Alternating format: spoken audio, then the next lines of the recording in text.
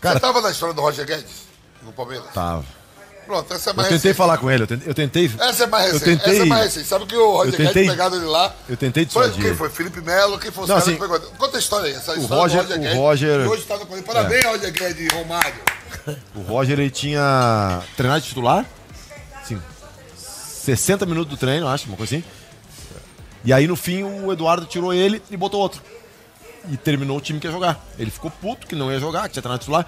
Só que, porra, o Roger tinha chegado em 2016 do Criciúma com 19 anos. Nós estávamos em 17, só era 17. Ele tinha 20 anos, vindo do Criciúma. E aí ele ficou puto e pegou as coisas e foi embora. Aí falou, caralho, foi embora.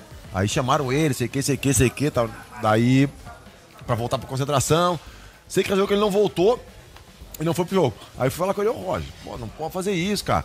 Não, mas eu fiquei puto, que. Eu falei, Roger, imagina só se quando começasse o treino ele definiu o time titular, aí um grupo tem 30. 11 titulares, os outros 19 saiu, não treinava. Vai embora. Cá. Vai embora. Cara, não tem como. Ah, mas é difícil, não sei o que, não sei o que. Eu falei, cara, pô. tu- ah, eu sei, eu posso ter errado. Então vamos, vai, fala com os caras, pede desculpa se tu errou, tá de cabeça quente, né? Não, não vou pedir desculpa, não vou, não sei o que, não sei o que, eu errei, mano. Eu falei, pá, meu, vai ficar ruim pra ti, né? Porque os caras vão ficar putos, que, não, pode ficar puto. Eu falei, então tá, cara. E eu tentei, né? E aí, Aí 20 anos nessa arrogância. E você vê que até hoje ele não aprendeu. Aí, Aí aí, os caras- dando dinheiro pra ele, cara. aí foi os caras- China, aí agora que ele vai ter essa humildade mesmo. aí os caras, im- aí os caras imitaram um parabéns, né?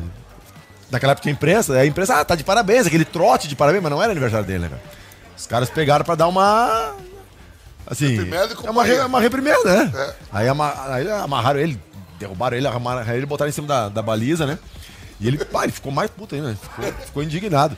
Na época eu falei, pô, Roger, continua treinando. Assim, pá, não consigo, quando eu tô na reserva, eu não consigo treinar assim como eu treino. Eu falei, cara, mas tu tem que treinar pra ti, não pro treinador.